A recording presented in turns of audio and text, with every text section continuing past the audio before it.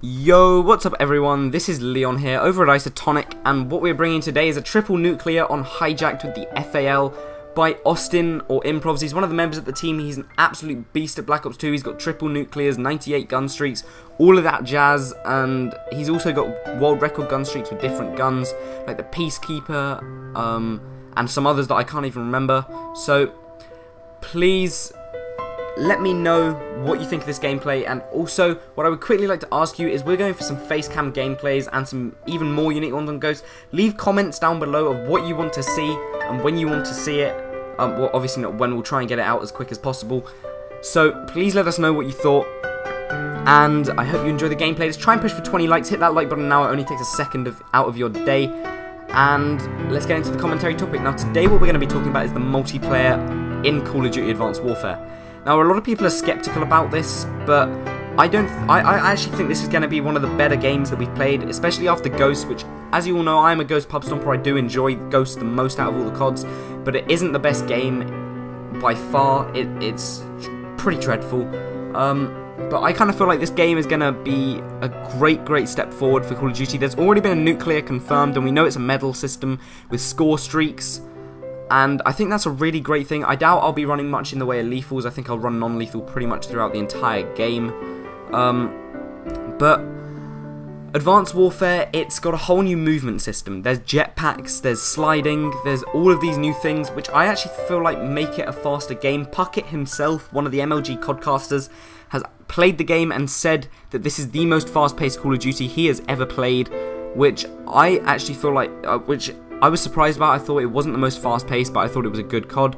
And the fact that it's the most fast paced Call of Duty means that we've got a really good COD on our hands and that we're all going to be rushing around. I doubt there's going to be much camping in it, looking at the way the maps play. Obviously, in the first kind of month, I expect there to be a lot of campers. But hopefully, the Call of Duty community will kind of liven up a bit. And the moment that we start to learn the maps, we'll just keep rushing and rushing and rushing and rushing to try and get faster and faster map uh, gameplays.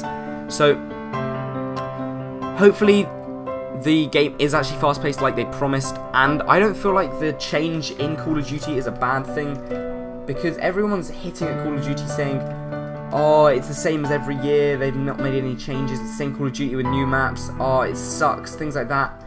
But if they if you want to see a change, um, and then the moment that they make the change, you we all just kind of diss the game and don't want it then I think like that's where our problem is because everyone's hitting it up as the next Crysis or a mix between Crysis, Titanfall, all of these games, and I just kind of feel like that's a bit stupid because we keep hitting at Call of Duty for the change, and they uh, and we keep telling them change it, change it. The moment they change it, we keep telling them keep it the same. It's not Call of Duty anymore, and I understand why they kept it the same for so long because Call of Duty is a very successful franchise. It's been the best-selling first-person shooter of all time, I, I think. Um, and why would they change something that works, that people buy, that people enjoy?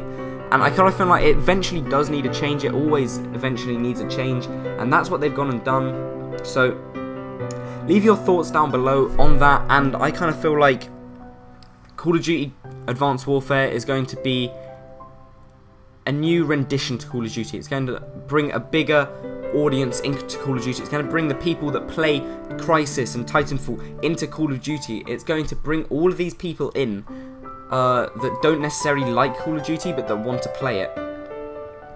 Um, and make and this will convince them. And I kind of feel like even though it's the first one in a series, it's had so much hype about it that it's going to be a great game. And they've been spending three years developing it and the whole everyone was worried about the exoskeletons, how they're going to ruin the multiplayer. They've been developing the game around the idea of the exoskeleton the entire time, so the, the, the exoskeletons aren't going to be out of balance. They've been developing the game the entire time around them, so why would they make something overpowered? And plus the fact that it's been going for three years, pretty much Call of Duty is a three-year development.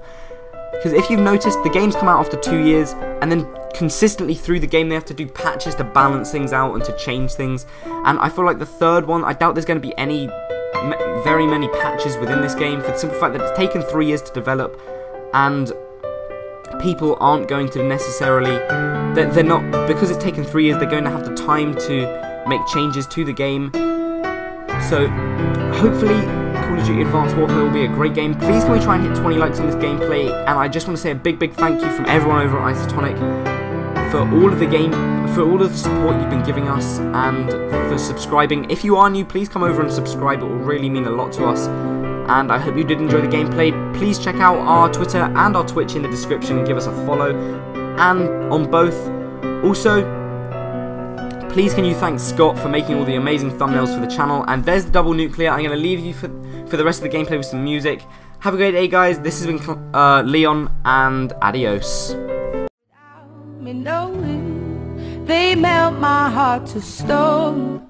And I hear your words that I made up. You say my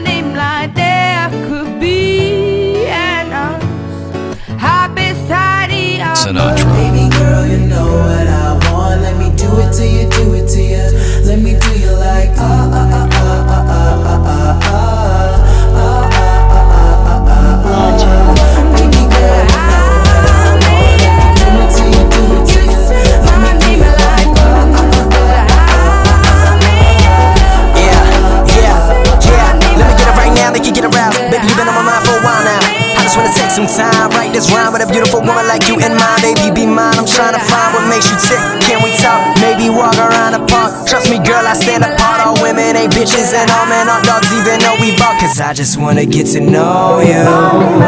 Maybe run around and show you what a gentleman is. Yeah, tell me what to do, shorty. I'm coming for you. Ain't talking about sex, I'm talking something from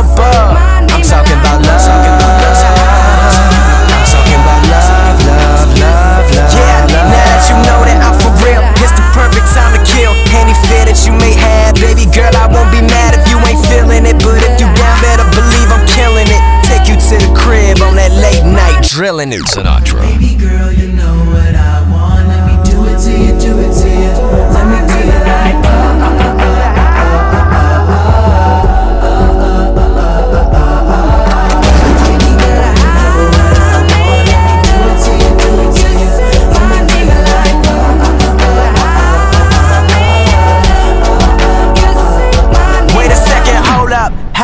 You think I got this name? Girl, I'm all about the brain. Why you think they call me?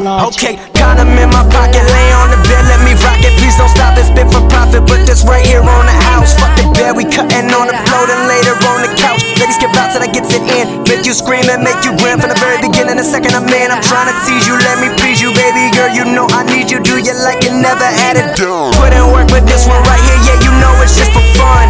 Give it to you like I was trying to conceive a son. I gets it done, then I'm ready for more, so ain't no telling where we'll go. But one thing that I know for sure, this angel has no halo. Oh. I don't play no game. You can ask my ex, I never eat the box. But if I control her, I may select some freaky shit to start and bring it back. We gon' go for hours, girl, I never slack. Tell me how you want it, face to face or roughing from the back. Just like that, she gon' overwork me if I let her. But I don't give a damn, I just wanna feel better.